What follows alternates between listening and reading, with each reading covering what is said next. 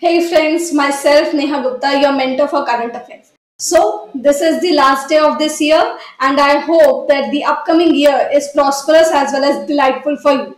So, on that note, let's take a resolution for the upcoming new year, and the resolution is that we will give our 100% to whatever thing we are do uh, we will be doing so if we are taking that resolution, so I expect you guys to give your 100% to this video and listen to me very carefully and answer the questions that I would ask you in this video uh, in the comment section below. So let's begin this video. And the students who are coming for the first time can hit this bell notification and subscribe our channel. Also guys, you can uh, join this telegram group where we share free quizzes as well as resolve your queries. So here we are on our first question. Recently, Pimpri Chinchwad Municipal Corporation signed an MOU with UNDP India to co-create India's first social impact bond. What, uh, which state does this corporation belong to? So this corporation has become the first corporation in India to sign this MOU with UNDP India to co-create this India's first social impact bond. So first of all, what is the full form of UNDP? United Nations Development Program. So with the Indian branch of UNDP, this MOU has been signed by this municipal corporation. Now, which state does this belong to? It belongs to Maharashtra. And which city does this municipal corporation belong to specifically? Pune. So remember Pune. Okay. Now, let's discuss what this India's first social impact bond means. First of all, from the name itself, it is very clear that the bonds, the money that is going to be raised from these bonds will be invested in the projects that are for the social impact that will be there for creating social impact. And secondly, the, the unique part of this bond is that this bond uh, is going to be the outcome based bond. So basically, there would be predetermined outcomes uh, in front of the investors whenever they are giving money to this bond. So basically that is the unique feature that this bond has. So it will it will be a outcome based bond and obviously the most important feature here is that it is India's first social impact bond. So that's all. Here this question ends and I'm moving on to the next question.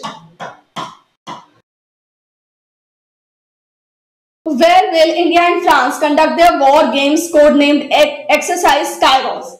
So first of all, since it is in the future tense, so I would like to tell you that this exercise is going to be held in January 2021, third week of January. Now, the announcement regarding this exercise or this war game has been made by India. Now, where are they going to conduct this exercise? So the right answer is Jodhpur, Rajasthan. Now, what are the things that you have to remember here? First is the place, second is the code name, third is the country, and fourth information is the uh, is very unique here. The reason behind this is that Rafale jets of both the countries. Basically, we have uh, procured Rafale from France only, but Rafale of India and Rafale of France will be participating in these war games. And remember this thing, uh, this war game is for Air Force. So these are some of the facts related to this news that are very important from, uh, from your exam point of view. Now my question for you is that who is the Chief of Indian Air Force? So that is the question. I hope that you will answer your questions in the comment section below.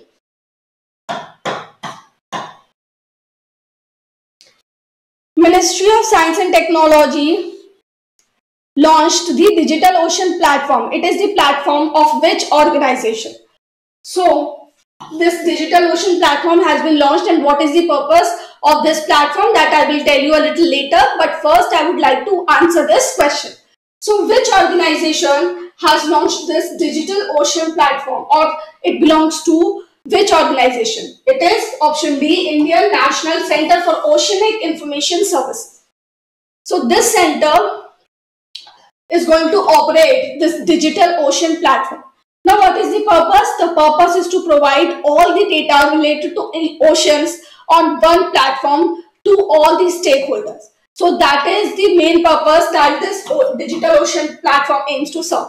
So basically in an organized manner, all the information related to oceans will be provided on this digital platform. Who is the Minister of Science and Technology? It is Harsh Vardhan. Now, my question for you is that you have to tell me where is this center located. So where is this Indian National Center for Oceanic Information Services located? This is your task. Do find it out and tell me in the comment section below.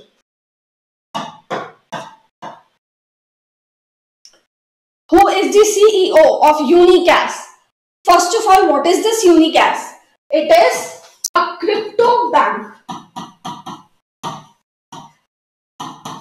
I hope that majority of you have heard this term cryptocurrency and if you have not heard this term then I would suggest you to watch RBI 247 sessions by Mansi ma'am where such kind of finance terms are being taken up by her and she elaborates all the terms in a really comprehensive manner so that your finance base increases. So in order to strengthen your finance base you should watch RBI 247 sessions regularly where one of in one of the sessions this cryptocurrency was also discussed by Mansi ma'am so do watch that session as well.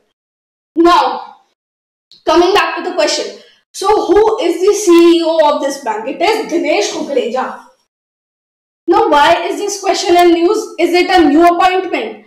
No guys it is not a new appointment. The reason behind this Unicas is in the news is that the reason is that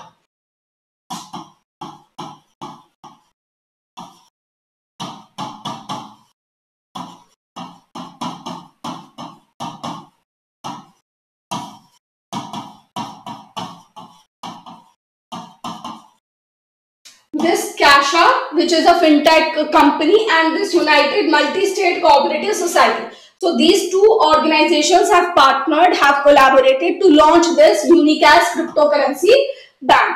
So this bank is uh, providing the online services. So basically it is already on the online platform, but the trick here is that, the catch here is that it is the world's first crypto bank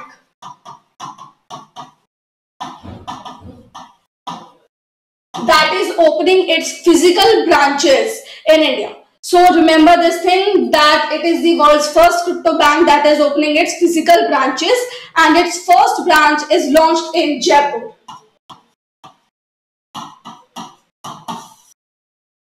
So guys, this is the first branch and this company aims to open around 100 branches by the year 2022. So remember the fact that I have told you here and the easiest way to remember these two companies is Uni has come from this United and CAS has come from this Kasha.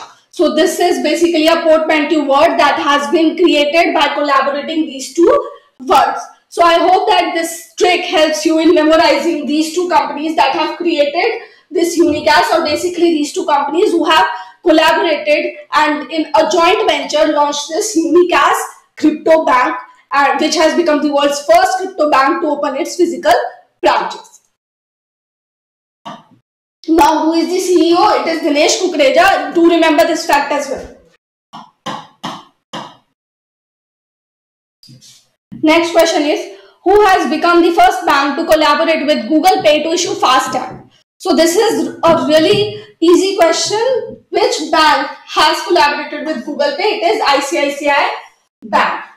Now guys, FASTag is a really old scheme and I would like to hear it from you that when was this FASTag scheme launched by the government of India? So this is your question. Do tell it in the comment section below. Who has been appointed as a member of the Board of Global Alliance for Vaccines and Immunization for representing the Southeast Asia uh, Area Regional Office, Western Pacific Regional Office constituency. So basically, who has become the member that would represent Southeast Asian region and Western Pacific region? It is Harshvardhan from India.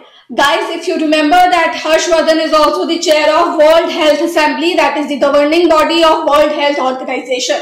So right now, Harshvardhan has uh, has his grip on most of the important positions. So do remember his uh, positions and his constituency as well. So here your question has come up. which constituency does he belong to? Now, let's discuss something about this Global Alliance for Vaccine and Immunization. So this is short formed as Gavi and its headquarters are in Geneva, Switzerland.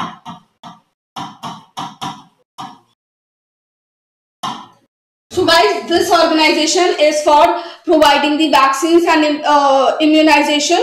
And do remember this thing that due to this coronavirus pandemic, this organization has been in the news and for its initiative and we can say for its uh, urge or for its calling for providing the vaccines for free or at affordable prices to the low and middle income countries. So that is the thing. So do remember this thing that this organization is very much in the news and its headquarters uh, is in Geneva, Switzerland. Harshvardhan from India has been appointed as a member at the board of this Global Alliance for Vaccine and Immunization to represent Southeast Asian region and Western Pacific region. So these are some of the facts from this question.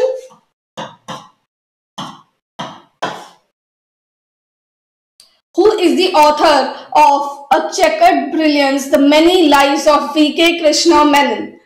So, the author of this book is Jairam Ramesh. Now, why is this book in news? This is because of this. So, basically, this book has won the Kamla Devi Chattopadhyay NIF, that is New India Foundation Book Prize 2020, along with this book. So this book has been written by Amit Ahuja. The name of this book is Mobilizing the Marginalized.